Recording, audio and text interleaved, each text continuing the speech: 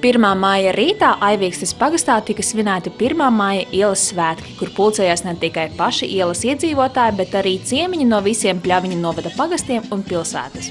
Šie svētki ir tā kā tāds uh, apvienojums, uh, trīs vienā. Mēs svinam gan mūsu pļaviņu novada piecu gadu jubilejas pasākumu, mēs, protams, svinam darba svētkus, Un mēs svinām desmit gadu jubileju, kopš mēs esam Eiropas Savienībā. Svētki tika atklāti ar svinīgu gājienu ielas garumā, kam sekoja koncerts, kur laukumā pie pagasta bibliotēkas pasākuma apmeklētājs ar raito dejas soli un skanīgām dziesmām priecēja pļaviņu novada pašdarbnieki. Pasākuma laikā bija iespējams arī apskatīt senlaicīgos darba instrumentus vai labāk iepazīt Eiropas Savienības dalību valstis. Savukārt izstādē darbam slava tika ciltināts pļaviņu novada čaklums.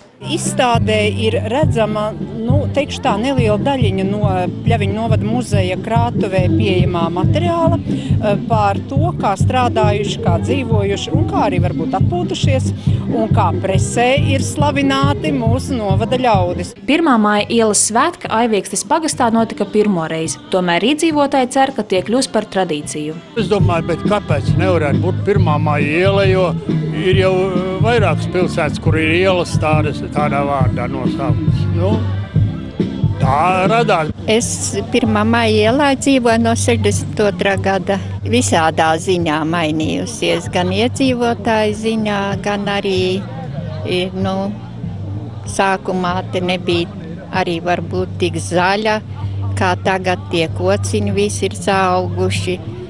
Tādi, nu, sākumā, kad atnācām te tika stādīts. 1. maija iela ir kā robeža starp Ļaviņu pilsētu un Aiviekstes novadu, tāpēc gadu gaitā tās teritoriālā piedarība ir mainījusies. 1. maija iela ir eh, gandrīz kā mērnieku, mērnieku laikos strīdus ābols starp pilsētu un Aiviekstes pagastu. Aiviekstes pagasts eh, gadu gaitā ir gan pievienots pilsētai, gan atvienots, gan atkal pievienots.